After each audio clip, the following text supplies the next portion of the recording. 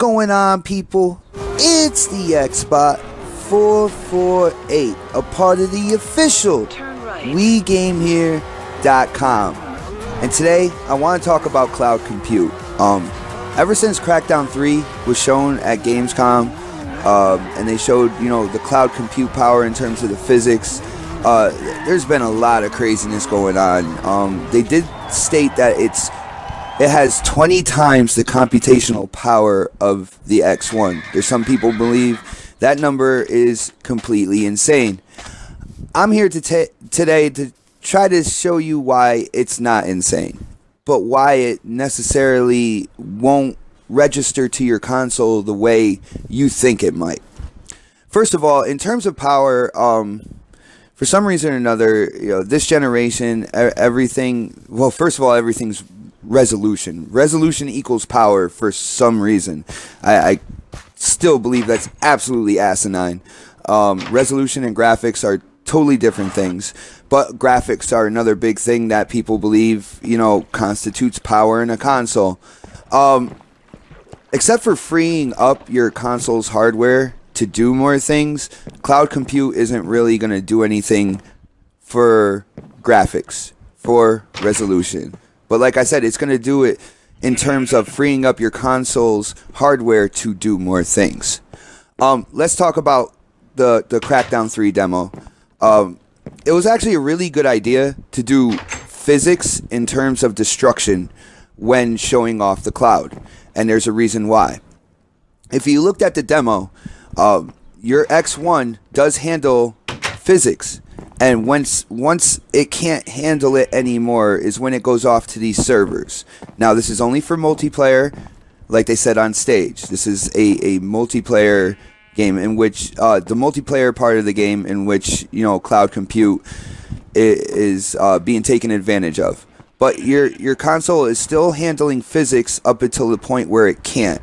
And then these servers, which are attached to your game when you start the multiplayer, uh, start spinning up and, and computing the physics for the destruction as it goes. Now, with your hardware handling physics already up to a limit, uh, I believe that your console is uh, handling the the littler blocks and stuff like that that's falling from the from the building or whatever you're destroying. Um, with that, that is a good umbrella or screen to hide any type of little latency before the entire building falls down. Uh, it gives the servers a chance to compute the physics that are that need to go down and send it back to your system. This destruction is a good way to hide any type of little latency going on with cloud computing.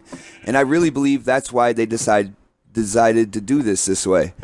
Um, in terms of 20 times the power, these servers can compute a bunch of stuff. And when you start linking them together, I mean, they have no problem computing physics on a massive scale.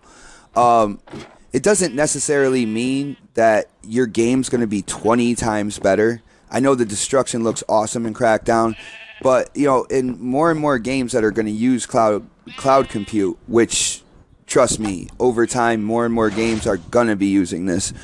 Um, the the compute is more for background stuff, like the skybox, uh, draw distance, um, stuff that's not immediate. Like you're not going to use cloud compute for the physics on a bullet that you just shot in a first-person shooter, um, stuff like that. It's not going to be used for those immediate things, but it is going to be used for uh, for background type stuff which frees up the hardware that's in your living room or bedroom to do more things, to add I don't know more things on the screen, the for those resolution nuts to kind of help uh, the hardware, you know, go to whatever resolution you think is is legitimate for this generation.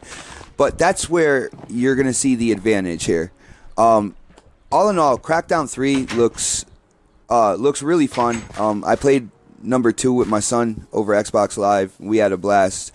Um, but as usual, if you like this video, definitely give me a thumbs up. Uh, definitely comment. I want to know what you guys think about cloud compute. Um, if you think I make sense, and definitely subscribe. But as for now, this is the Xbot 448, and I am definitely signing off. Nerdy. Too white and nerdy. Can't you see I'm white and nerdy?